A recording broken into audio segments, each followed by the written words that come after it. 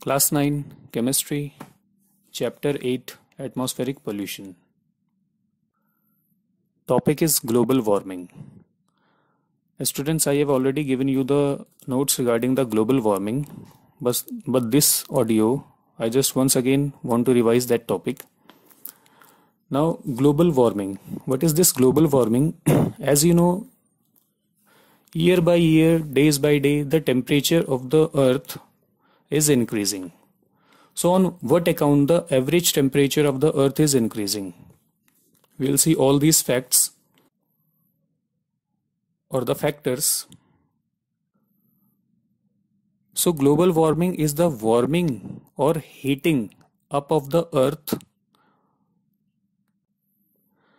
with an increase in the temperature. And this increase in temperature is because of a effect called greenhouse effect. Now what is this greenhouse effect? So it is the heating of earth and its environment due to solar radiation trapped by carbon dioxide and water vapor in the atmosphere. Now why the word greenhouse has been taken in the greenhouse effect? This is because you see in the countries or in the colder countries where the temperature is not that much high. And if we want to grow some crops there and if the crops require a good amount of heat or temperature then these crops can never be grown on such places. So to grow such temperate crops at the colder regions of the earth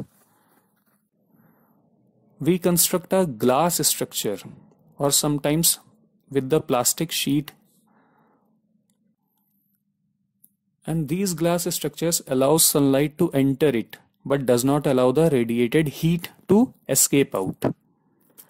And then what will happen? Because the radiation the heat energy has been trapped inside the glasses so the temperature of the glass will or inside of the glass house the temperature will get increased and this temperature will be good for the growing crops there. So in the same way, the sun's radiations which are called infrared radiations or simply IR rays. So when these infrared radiations they come inside the earth after striking the surface of the earth when they are going outside or reflected outside the gaseous blanket. You know our atmosphere it is made up of gases. So certain gases are there like carbon dioxide chlorofluorocarbons even water vapor also. So these molecules or gases they will not let the infrared radiation to go out. And if some part is going out it is very less. So a major part of the infrared radiation it will be trapped inside the earth. And hence, the net result will be rise in temperature. And the gases which are responsible for this effect, they are simply called the greenhouse gases. Some of the examples I already told you. Now, what are the sources of these gases? For example, carbon dioxide. So, we know that burning of fossil fuels like coal, natural gas, and petroleum, the CO2 will be released over there. Then, during our breathing process, the animals they are releasing the carbon dioxide in the atmosphere.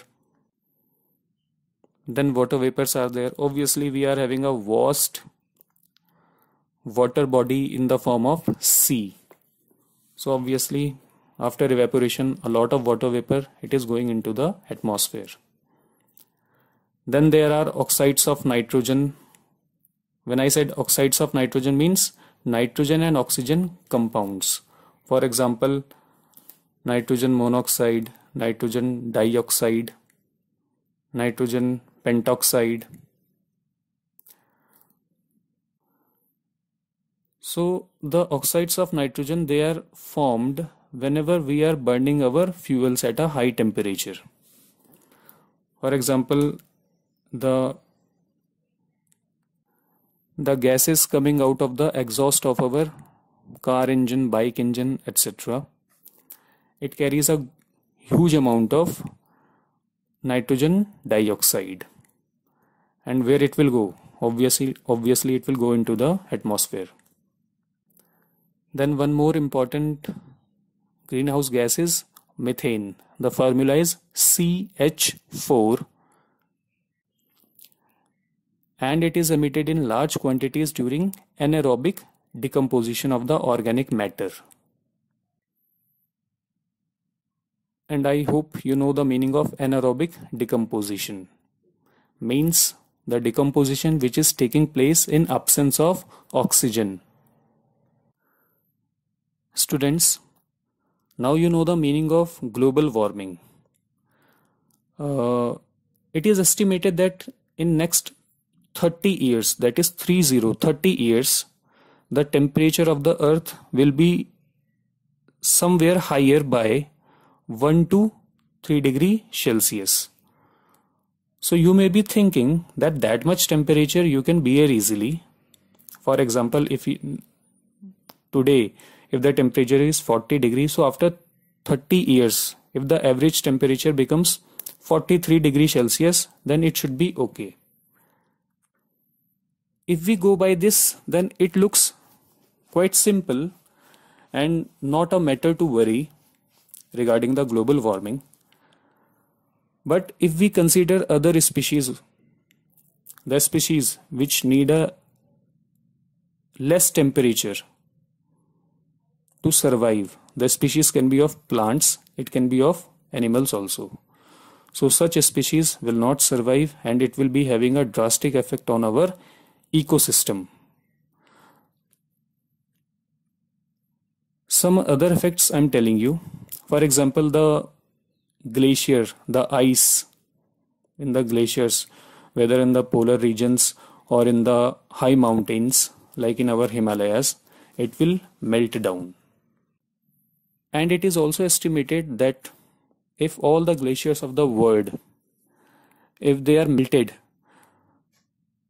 the level of the sea will rise by a height of 6 meter. And you can imagine what this 6 meter looks like. In turn our coastal areas the coastal areas of the world now they will be submerged under the sea now we have to displace that many people. It will create a big problem there.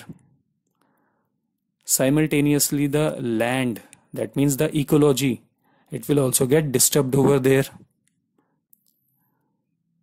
The global warming will also have a drastic change in our raining pattern. And obviously this will cause a huge harm in our crop production.